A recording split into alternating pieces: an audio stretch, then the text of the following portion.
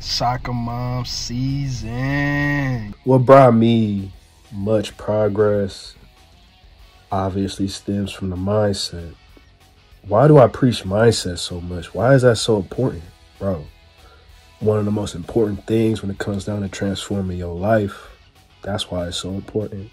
That's why I be talking so much when it comes down to mindset. For me, I have a warrior mindset when it comes down to training and how the way I carry myself. What do you what what do, what do I mean? How I train is exactly how you want to train for battle type shit. Like it's a mindset. You feel me? Like you want to prepare for battle. Out there in this out there in this world, bro, it's crazy. It's scary. It's a scary world to be out here, man. And I want to be on my P's and Q's. I want to be strong. I want to be physically fit so I could defend myself or run away from any situation without being out of breath, gassed out, or just do not have the physical strength to defend myself.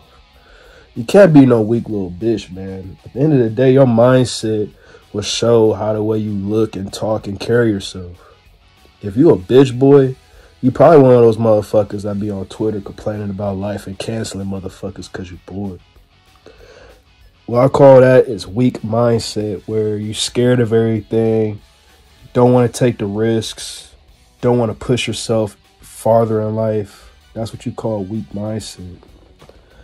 Instead, you want to be a dog, you know what I'm saying? And when it comes down to transforming your body and wanting to have that physique of a goddess or a god or just that that motherfucker, you know what I'm saying? You want to be that top G, you want to be that dog, you know what I'm saying? You ain't no weak little motherfucker.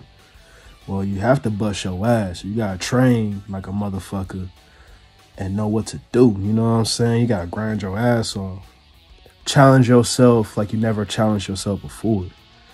That's the only way you're gonna improve. But it's your mindset, how the way you approach your training, and how you approach life.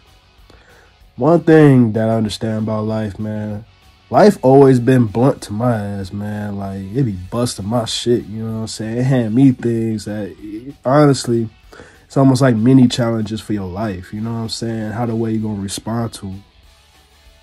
Are you gonna cower away and complain about it? You know what I'm saying? Oh, this is too hard or this shit ain't fair. You know, this and that and this and that and this and that and you know what I'm saying? And you gonna stay in your little cubby hole and not go out, challenge it. You know, challenge yourself. You know, there's so many things you're just not doing because you're just being a weak little bitch. But when you have that mindset being that dog, bro, I'm telling you, you're going to be built like a damn dog. It's all about eye for an eye. It's that energy that you give. For me, I want to be built like a warrior, so I'm to train like a warrior, think like a warrior. Because not only do you have to be physically strong, you got to be mentally tough too. Because, man, like I said, life is crazy. It be throwing curveballs at your ass. How will you respond to it? Are you going to sit there and keep complaining like a little bitch or are you going to fight through it? For me, I'm going to fight through it. I got handed a bunch of tests, you know what I'm saying? What's going to test my gangster? And for me, I'm not going to sit a cower in one knee and just sit here and just let it all just take over me. Nah, I'm not going to stop. I'm going to keep on fighting. I'm going to keep digging deep find ways to sit here and tackle on that challenge rather than, man, fuck it, I'll just give up. Can't do it. Life is so unfair and I'm just so worthless. See, that's that weak ass mindset I'm talking about. You already given up or you already doubting yourself from starting anything. That's what's going to sit here and lead you to square one. You stuck because you got a weak ass mindset, bro.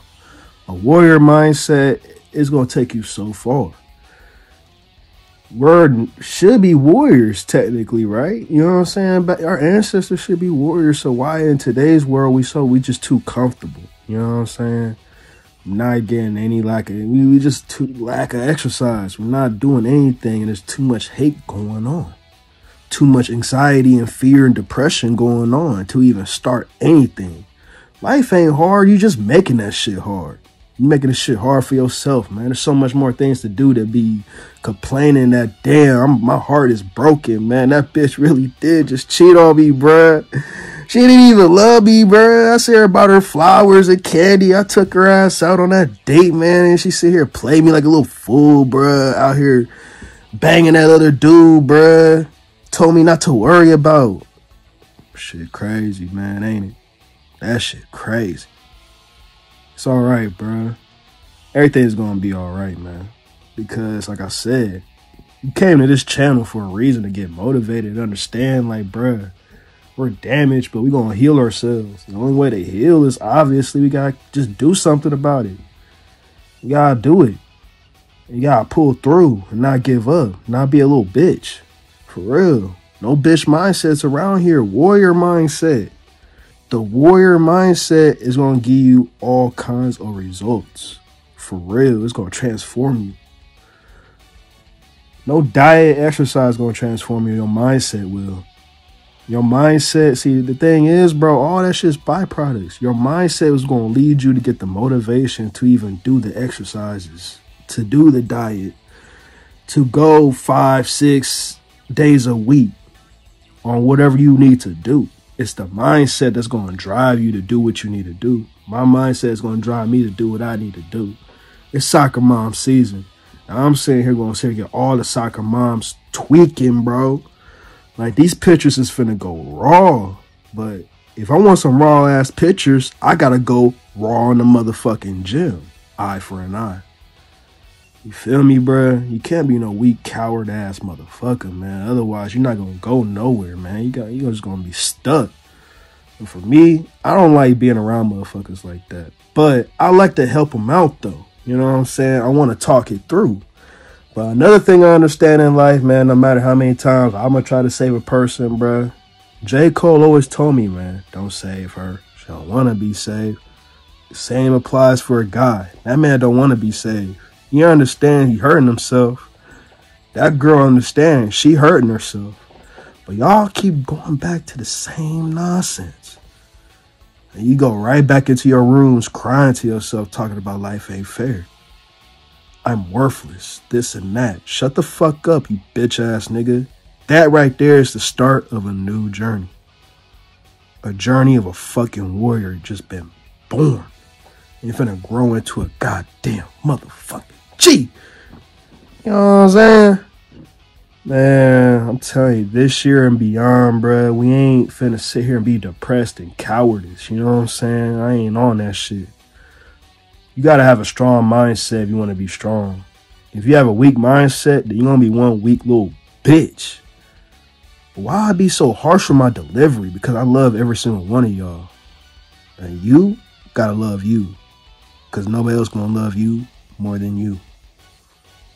Now let's get this motherfucking work.